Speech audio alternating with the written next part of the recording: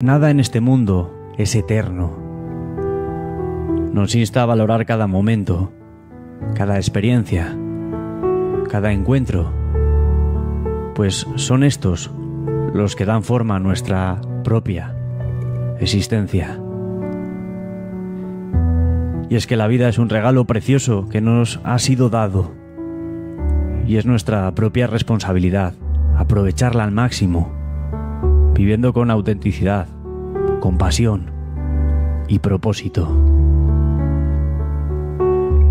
Debemos aprender a apreciar las pequeñas cosas, a amar con intensidad, a perdonar con generosidad y a buscar la felicidad en los momentos simples. En este viaje es crucial encontrar el equilibrio entre el apego y la aceptación entre aferrarse a lo que amamos y soltar lo que ya no nos pertenece. El fin nos enseña que todo en este mundo es efímero y que solo al dejar ir podemos encontrar la verdadera libertad. Y es que a medida que avanzamos hacia nuestro último aliento, nos enfrentamos a lo inevitable preguntas sobre el significado de nuestra vida. Hemos vivido con integridad. Hemos amado con profundidad. Hemos dejado una huella positiva en este mundo.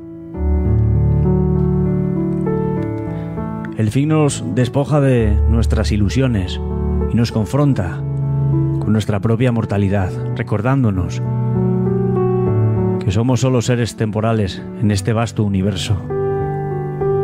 Nos invita a reflexionar sobre el legado que dejaremos atrás, sobre cómo queremos ser recordados por aquellos que sobreviven.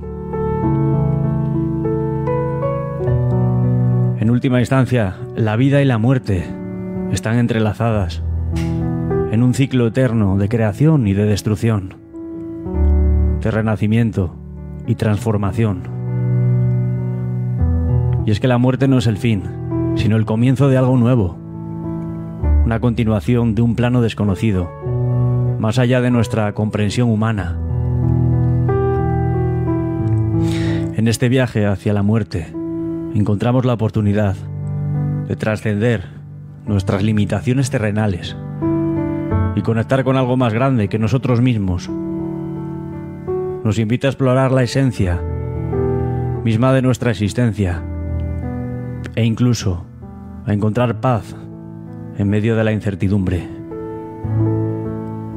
Y así, en el transcurso de nuestra vida y en el tránsito hacia el fin, encontramos la oportunidad de vivir con plenitud, de amar incondicionalmente y de abrazar la belleza efímera de nuestra propia existencia que en este viaje podamos encontrar la sabiduría para vivir con gratitud y la valentía para enfrentar nuestro destino con serenidad y aceptación.